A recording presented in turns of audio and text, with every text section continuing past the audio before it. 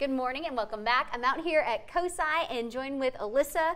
And what do we have going on over here? Yeah, Liz. Well, it's the holiday season, so I thought let's make some holiday lava lamps today. Ooh, that sounds fun. Yeah, and you don't need a whole lot of, of materials to do this. You can find most of this around your house. Might have to buy one or two things.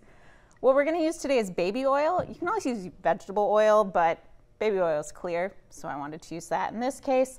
Just some food coloring, some water, and Alka-Seltzer. And then other things that you can have at home if you want. I thought it'd be fun to add glitter for the holidays. I like that, especially around the holidays. We seem to have a whole bunch of different sequins and glitter kind Yeah. of floating around. Exactly. So we each have a water bottle. Now, if you're doing this at home, you can use really a cup, something you can see through. I like water bottles because you can put a cap on it and keep it. Oh, perfect.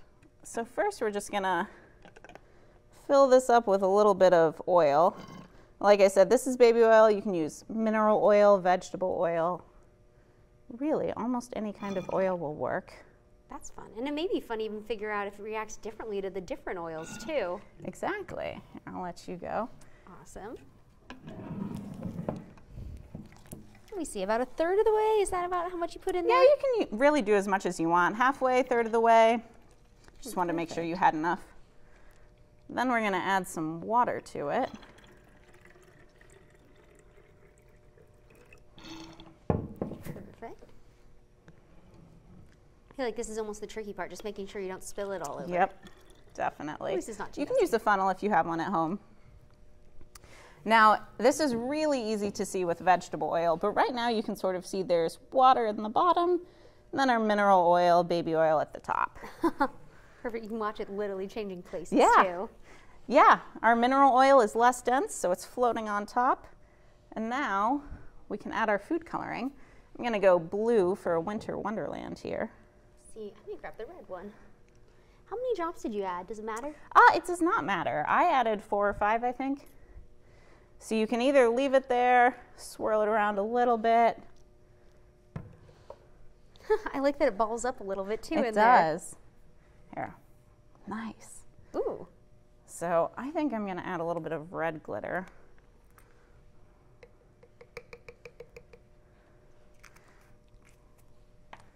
And maybe some stars just for fun. Ooh, I can follow your lead with the red glitter. Keep it more monochromatic. Ooh.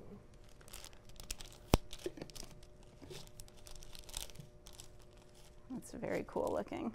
Oh wow, there's so much happening with this. There is, yeah, the food colors, coloring is starting to uh, mix into the water. My glitter is starting to fall down. Yours is too.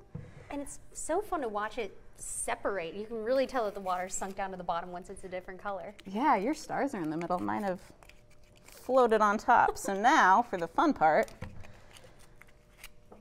you can break these up, put as much in as you want.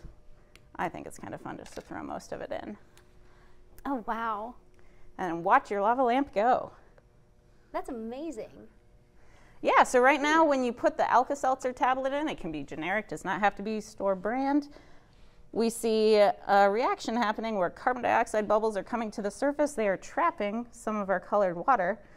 When the bubbles make it to the surface, the gas dissolves and the bubbles fall back down.